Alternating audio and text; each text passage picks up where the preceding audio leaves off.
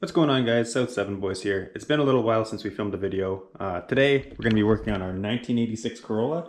This is the first real video we filmed on this car. I know you guys haven't seen much of it before. Uh, and I know at first glance, the first thing you guys are going to be thinking is, damn, those are some good looking calipers. I wish my calipers looked that good. Well, let me tell you, they didn't always look this good, but if you guys stay tuned, you're gonna find out how to make your calipers look just as good as these ones. All jokes aside, this should be a pretty easy rebuild for you guys. This car ended up being a nightmare to rebuild the calipers on because of how seized and rusty they were. Um, this was a, a few month long project while waiting for parts and stuff like that, so you're gonna see a lot of different seasons in this video. Um, and it's gonna be sort of anticlimactic because we got these on, got them ready to bleed, Turns out the hard lines running front to rear are completely rotted, so that's what we're to be fixing soon. So we weren't actually able to bleed them, but uh, we'll show you how to rebuild the fronts. Stay tuned.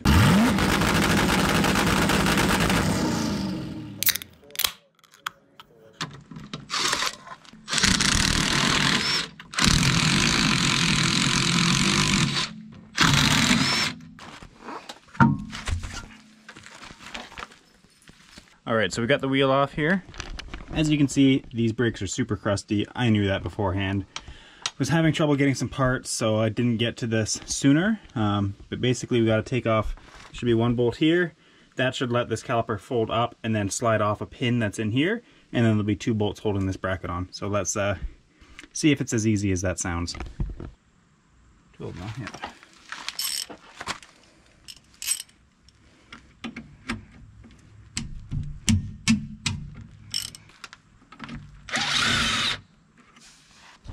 So we've got that pin out right here. Came out of here. So now that's the only thing that actually secures the brake caliper onto the uh, bracket. So this the whole thing should be able to swing up. It's not going to be that easy because I've already done the other side. I know how seized they are. Um, but let's see if it's going to wiggle at all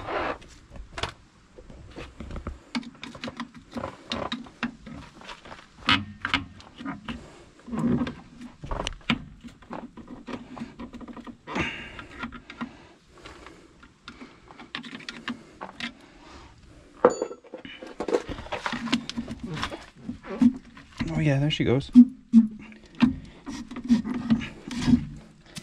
Here we go.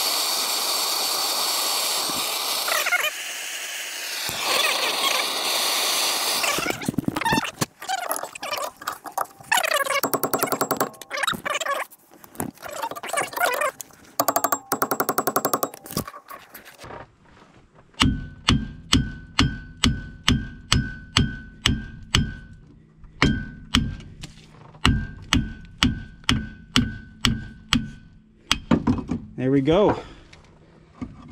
Not too hot. I'll swing that up out of the way. Okay, didn't film that because I needed both hands for it, but thankfully both bolts came out a lot easier than the other side. So two bolts came out and then the bracket just, ooh, that's still hot, the bracket just slides off like that. So we're gonna go clean this up and see if we can start rebuilding the uh, calipers. Well, I did a montage of cleaning these things, but apparently I didn't hit record. So this one's done now. These are never going to be perfect. They're I don't have a sandblaster or like an electrolysis bath or anything like that. Hit it with a flap wheel on an angle grinder. Try not to take off too much material. And uh, yeah, it's good enough for me. We're going to degrease this and then we're going to rattle bomb it.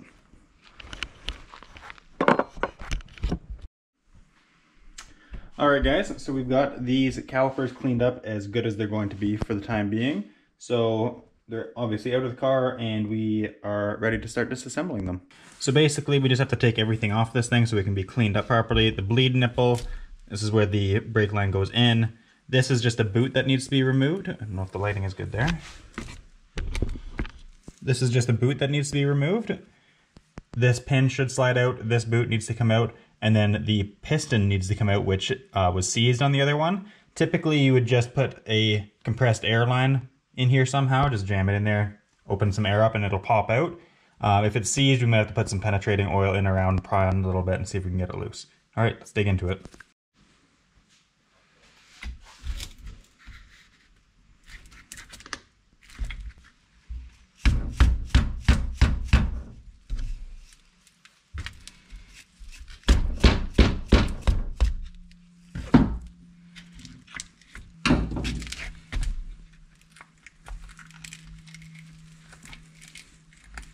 Do up here. There we go.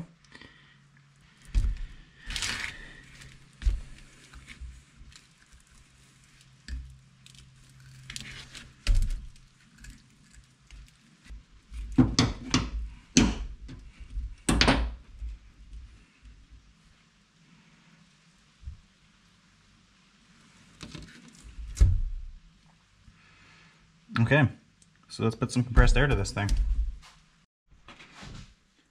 So I would definitely take this with a grain of salt, but these are little attachments I have for my air hose, and this thread actually threads into here. I don't know if it's perfect, but it works well enough that I can jam this in here, get a good enough seal, and actually pressurize this. If I screw this onto it properly, this doesn't fit in here. It's loose, so the other way around actually kind of works. We're not tightening this down too much, so I don't think it'll actually damage the threads at all. And you're definitely going to want to jam a rag or something in here because this literally sounds like a gun when it lets go.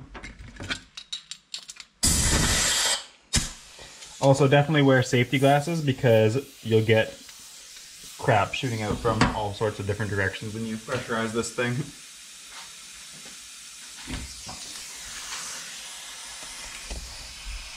And keep your fingers clear. Oh yeah, that's what I was waiting for.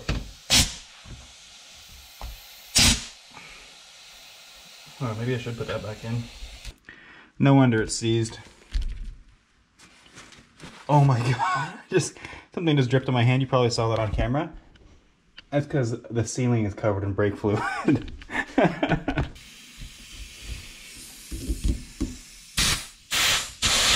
you see it moving in there? Wants to come loose.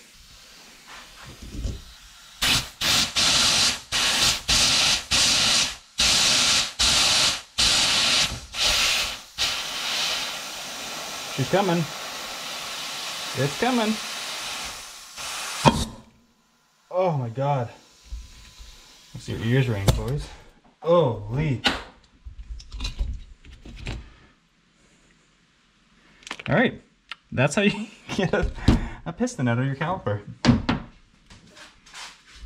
So like I said, I use one of these tiny little, uh, I don't know, you call them eyeglass screwdrivers or something. And it's going to be stuck in there due to 40 years of rust, but this one is typically the easier one to pull out. Uh, yeah, it was actually going there.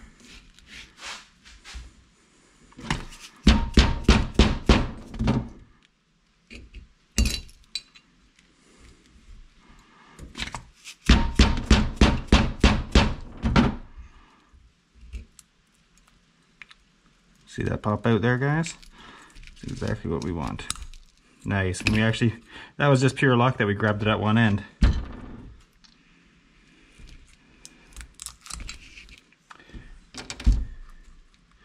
And now we just got to pull this boot out.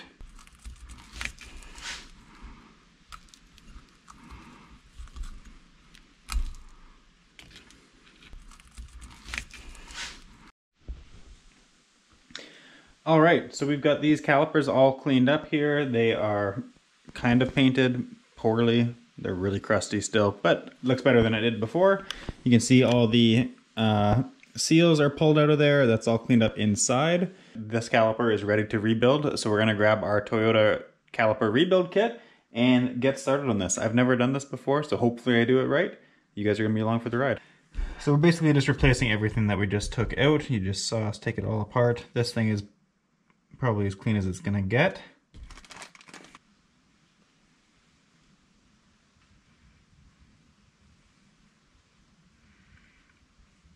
I'm probably gonna go a little overkill on this.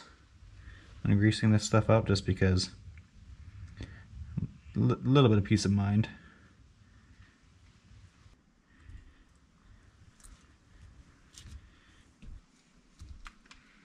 Here we go. Right, so that's all greased up in there. I think the next step is to actually insert the cylinder again. Which we've got here, cleaned that up a little bit earlier. I think you want that to be a pretty snug fit.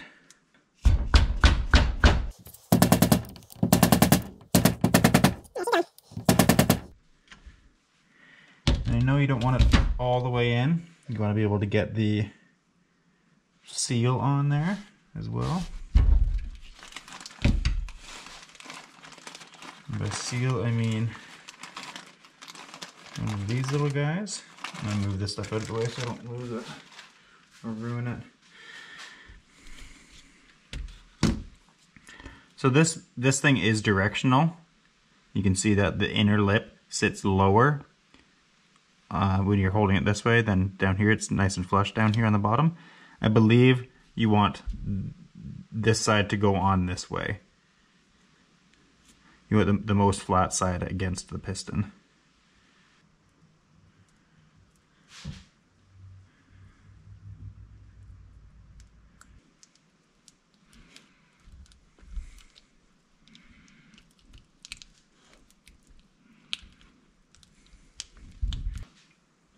I think it's in.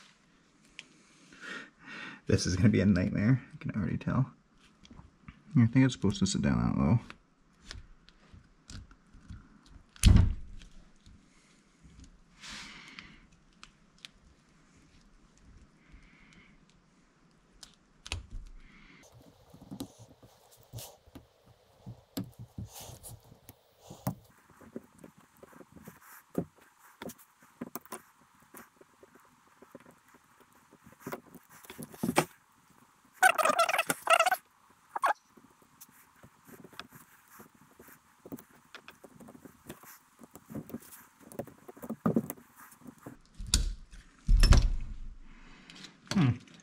Snap. Alright, had to turn the camera off because I was losing my mind on that little ring. But, we got it in there, I think. I have no way of telling if it's in there enough, but I can't see it anymore, and it's in the spot that it's supposed to be, so I'm ho hoping it's okay. Anyways, next step is that little cap thing that we just popped out of here is going back in. We get a new one here, and I'm going to show you how to do that right now. It's easiest if you have a vise. Turn off that weird backlighting that we got going on there. Um, let's see. Want to grease this up nice and greasy again. Make everything nice and frustrating to do. Even a little, put a little bit of grease on the inside of that too.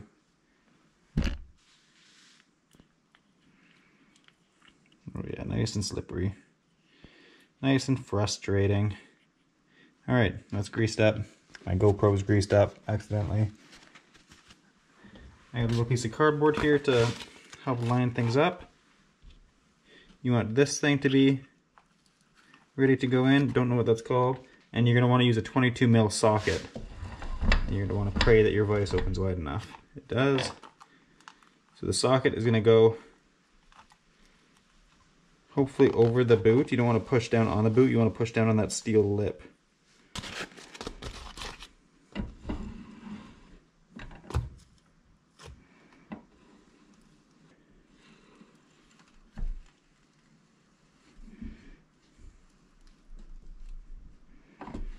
All right.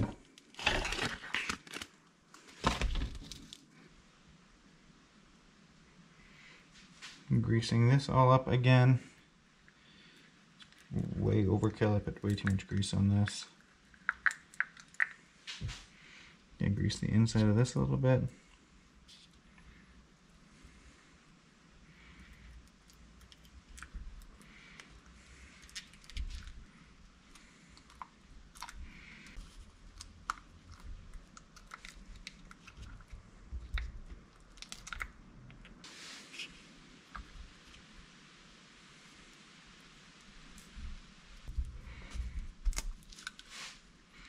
Jam that right on through there. Pop this side back over. Make sure that bushing sits in that groove there. Probably can't see the groove because of all the groove. Alright, so we should have everything we need here to reinstall this caliper. We've got our rebuilt caliper. We've got some lubricant for all the sliding components. We've got a new uh, brake pad hardware kit here. We should have everything we need to install the brake pads. And we've got our new brake pads here.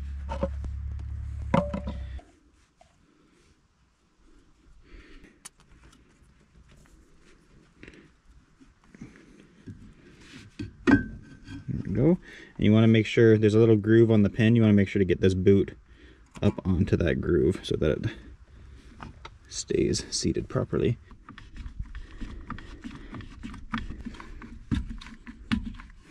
Per side, I think we need to do to use these clips. We've got one, two, three, four, five of them. These two go down up in here sits up in there somehow. I guess the maybe the brake pad will hold that in place a little bit better. The mirror image of that one goes down on the bottom here. I'm guessing this is supposed to have a little bit of tension against that part of it, but I think my brackets are so rusty that it's not really holding it in there anymore. Hopefully that doesn't cause any issues. This little guy sits right in here on the back side and the pad can ride on that. And then this big complex looking guy, I think, goes up underneath here, something like that. And this acts as like a little shroud to protect the boot right there. I think this one's going to be the biggest nightmare to get on there. And then this long skinny guy sits in the back here, and the brake pad rides on that. So now that you guys know where everything goes, I'm going to cut to a little time lapse here, lube all this up, fight with the brake pads, and try to get them all in here, okay?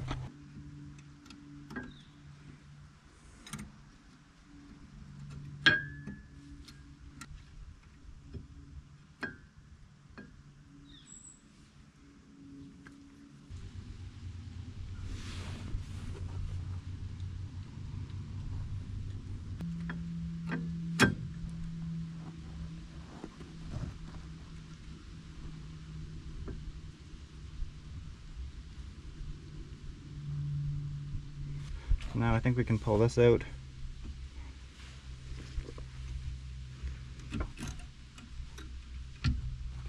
Drop that down.